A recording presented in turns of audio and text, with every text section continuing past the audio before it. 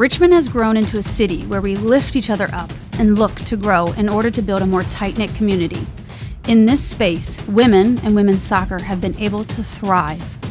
To now have a team in the USLW League means to invest further in the women around us and their visions, providing a place to grow as athletes, as people, and as leaders in the community.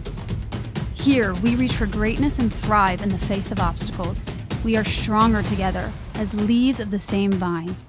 Together, we are Richmond Ivy Soccer Club. Richmond's hillsides, riverbanks, and historic homes are united by the bonds of Ivy's twisting vines. Ivy is elegant and beautiful, but is also creative and tenacious. Ivy is always striving for greatness, overcoming obstacles, and climbing ever higher. When you're an Ivy, you're part of something so much bigger than yourself. You become part of something that continues to grow with each season, every athlete, every fan, and supporter of the beautiful game in Richmond, Virginia. Made of many, Ivy forms impossibly strong bonds, always lifting each other up and defying adversity with determination and unity. We are Richmond Ivy.